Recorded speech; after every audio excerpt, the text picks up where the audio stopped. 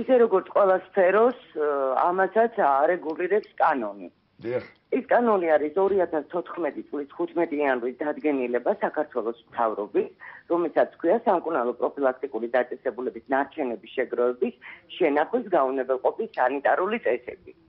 ამ წესების მიხედვით ცხოვრობ ჩვენ სულ ყველა ვინც მემსახურებით ამ სფეროს და ის კლინიკები და საავადმყოფოები, სადაც ეს ნარჩენი წარმოიქმნება.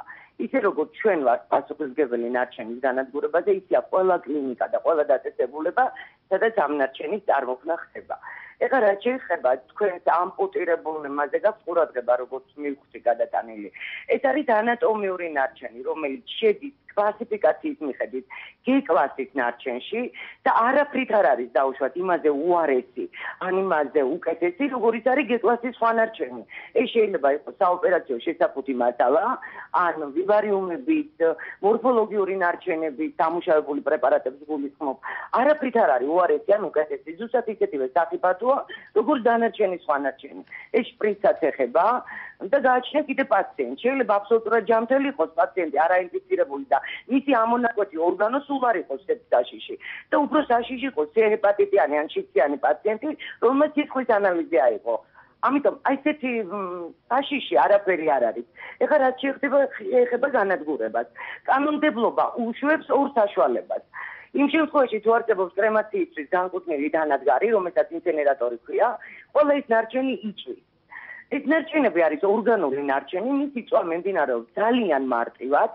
არანაირი პრობლემა არ არის. ეს ჩვენ თარაზგა საქართველოში სამი დღეს სულ ესეთი, რომელიც ძენად მოიცავს თელ საქართველოს. ერთი დგას სამტრედიასთან ახლოს, ერთი არის ზარდაბანში და მესამე ეხლა ყველაზე დიდი ჰოლანდიური მთავრობის დახმარებით და მათი გრანტით, რომელიც ძალიან არიან დაინტერესებული ამ საკითხში, რომ ჩვენ როგორმე მიუახლოვდეთ ევროკავშირის სტანდარტებს ბოლომდე. ექცება ძალიან დიდი პროექტი მიმდინარეობს, რომლის გახსნაზე და თქვენ ჟურნალისტებს აბსოლუტურად ყველას მივიწევთ და თქვენ თვითონ თქვენი თვალით დაწუნდებით, რამდენად კარგად ხარისხიანად წდება ეს საკითხი. და სხვათა შორის ეს საკითხი კარგახანია გადაწყვეტილია. ეს რაც კრემაცია შეეხება, ეხლა რაც დამარხვა შეეხება, კანონმდებლობა არ გრძავავს არც დამარხვას. დამარხვა აი ის ადგილი სადაც დამარხვა ხდება.